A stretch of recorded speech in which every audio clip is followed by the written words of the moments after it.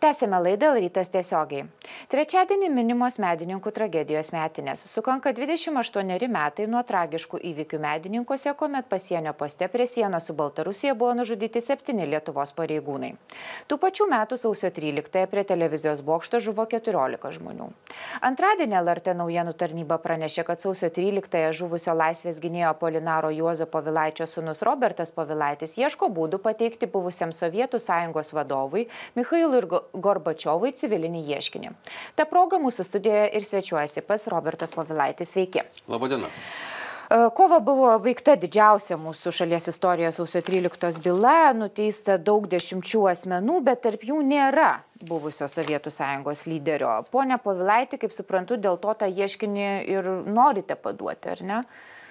Na, sakykime taip, yra mm, e, tai, ką padarė teismas, tai prieėmė nuosprendį tų 67 matyt e, žmonių atžvilgių. Taip, 67. E, ir tai yra už, reiškia, baudžiamo, baudžiamasis kodeksas numato tos, tos nusikaltimus, kuriuos jie padarė. E, tai, tai kokiu būdu atsitiko taip, kad nėra, nefiguruoja toje byloje tuometinis Sovietų Sąjungos prezidentas ir karinių pajėgų vadas, kai karinės pajėgos bent jau kelių rūšių karinės pajėgos dalyvavo e, šitose žudynėse, tai šitas klausimas lieka tikrai labai keistas. Tai yra e, ir, na, ir kokius penkerius metus su advokatu mes visokiais būdais bandėme kalbėdami ir teikdami įvairiausius prašymus generaliniai prokuratūrai, kad visgi tas na, kažkoks procesas jo atžvilgiu vyktų. Tai ir kodėl... vis nesėkmingai. Ir vis nesėkmingai. Tai, tai,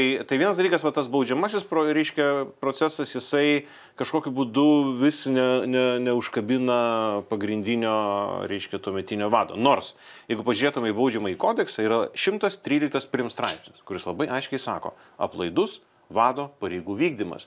Ir jeigu vat, to vado reiškia, pavaldiniai įvykdė kažkokius e, nusikaltimus, žmoniškumui, karo nusikaltimus, nusikaltimus tai, tai tada, reiškia, vadas yra atsakingas už tai, kad jisai nesustabdė, kad jisai, reiškia, e, nesėmė priemonių ir panašiai, reiškia, aplaidžiai vykdė. Tai mes vat, visą laiką keliam klausimą, kaip atsitinka, kad e, tas aplaidus, reiškia, ar koks jis ten bebūtų, tas, reiškia, Gorbačiovo tie veiksmai, kodėl jie nėra vertinami pagal baudžiamai, reiškia, tą kodeksą.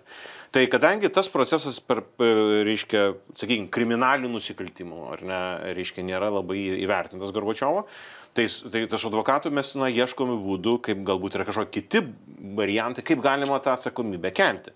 Tai kitas būdas yra civilinis procesas. Ir e, jau toj vietoj svarstom, galvojam, ar galima kreiptis į teismą ir pareikšti būtent civilinį ieškinį Gorbačiovui už tai, už žalą, kurį jo veiksmai sukėlė.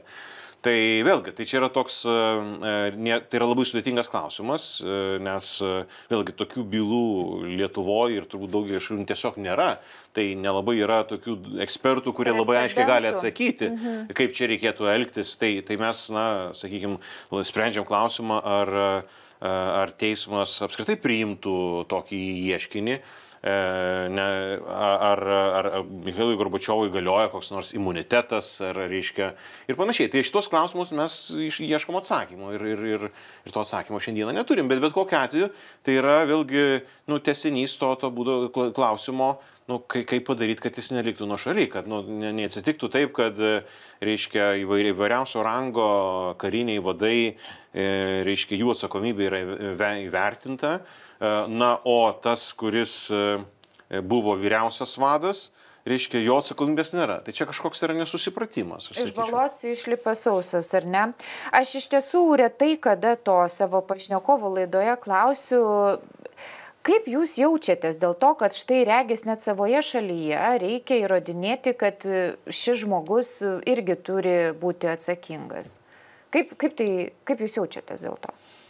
Na, sakyčiau, tokie, toks dvilypis jausmas. Na, sakyčiau taip, iš vienos pusės, uh, uh, man atrodo, labai svarbus dalykas įvyko Lietuvoje. Tai yra tai, kad uh, apskritai, na, kelios dešimtys įvairiausių kar, karinių vadų Sovietų sąjungos, jų atžvilgių yra jau priimtas nuosprendis. Jis dar nėra įsiteisėjęs, nes yra paduotos apeliacijos, bet reiškia įvyko visgi na, per daugybę metų vyko tyrimas, ar ne, galų galais buvo perduotas teismui ir teismas jau priėmė po kelių metų, reiškia, to teis, teisminio proceso, priėmė nuosprendį.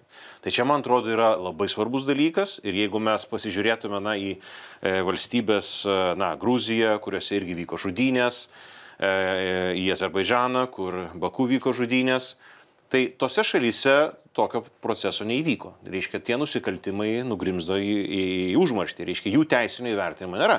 Tai šią prasme, man atrodo, čia yra nu, tikrai labai svarbus dalykas įvykęs.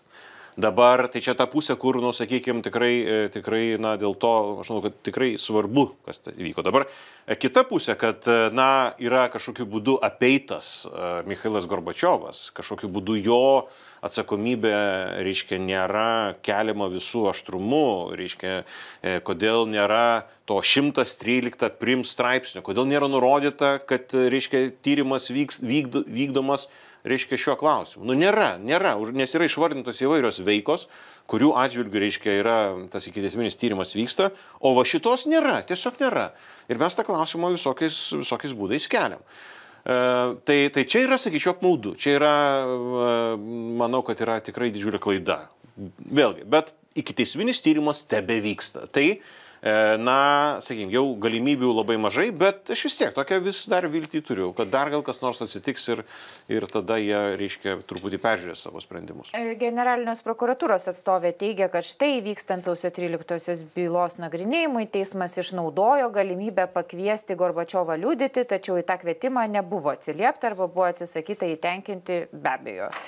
Netrodo jums tokie dalykai, pavadinkim, toks šiek tiek tokia butaforija, kad mes čia bandom kažkaip jį įdėti į tą bylą, bet nesigauna. Na, reiškia, jeigu konkrečiai šito klausimu, tai vienas dalykas, e, Vilnius apygardos teismas iškvietė Mikhailą Gorbačiovą todėl, kad e, aš pateikiau raštišką prašymą iškviesti Mikhailą Gorbačiovą liudyti. Mhm. Reiškia, ir tik tai pakartojus tą prašymą, ir viešai pakartojus tą prašymą, e, teismas kažkurioje vietoje spalio mėnesį, reiškia, tais metais, kai tas prašymas buvo pateiktas, patenkino tą prašymą. Tai reiškia, šiaip nebuvo siūlymo, kad jisai būtų kviečiamas liudyti, bet po pirmiktinio, reiškia, mano prašymo, reikalavimo, tas dalykas įvyko. Buvo išsiųstas kvietimas. Bet tik po jūsų prašymo. Taip, taip.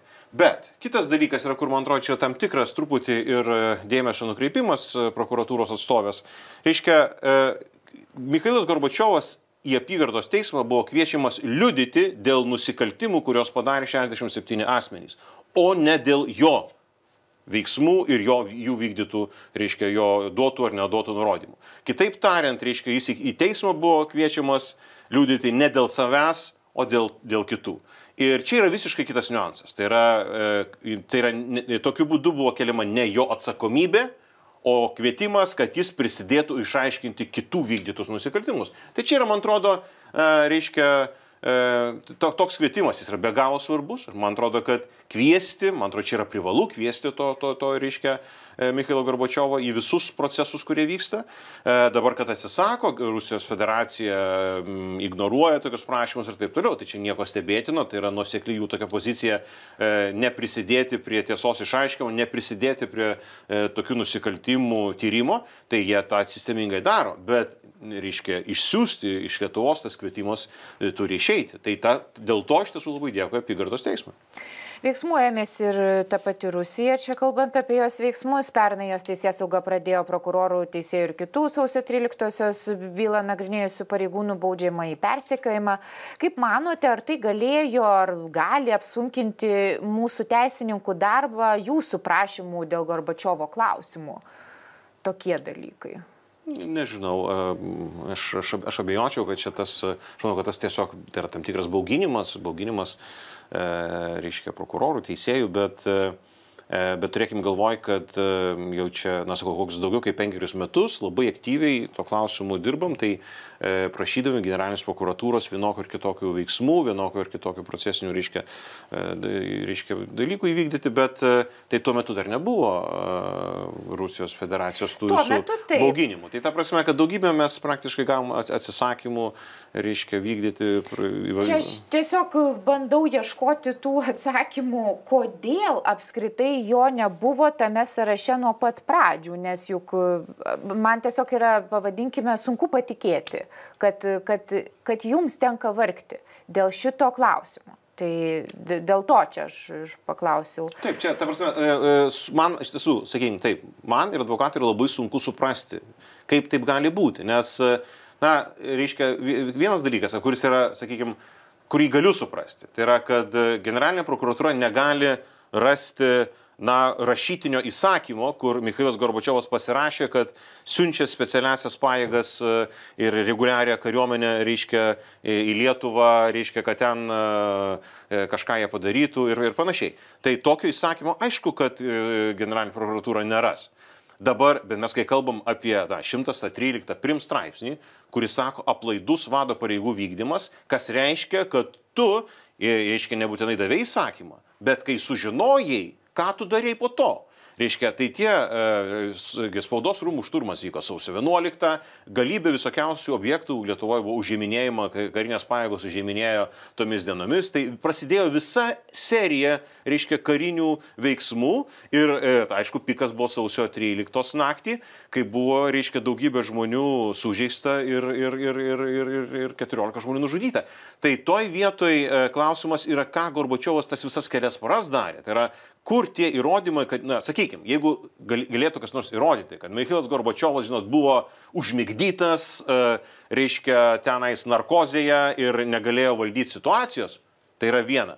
Bet kai mes žinom, kad jisai buvo veiksnus, kad jisai, reiškia, vykdė pareigas Taip. prezidento Ir per tas visas paras daugybė buvo visokių siunčiama signalų pranešimų ir iš Lietuvos, ne vienas buvo apie tai.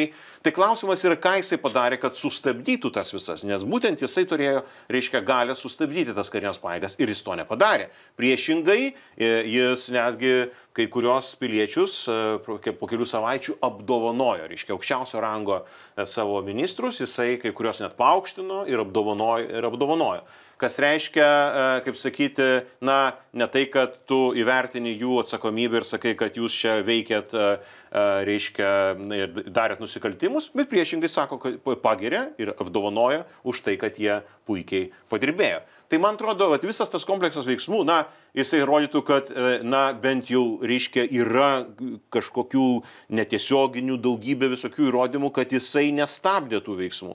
Tai va šitą dalyką, va kodėl šita, šitos jos aplinkybės nėra, reiškia, e, netampa pagrindų kažkokius veiksmus daryti Gorbačiovo atžvilgiu, yra nesuprantama. Supratau, tai dėja mūsų laikas išseko, dėkojame, kad atvykote į laidą.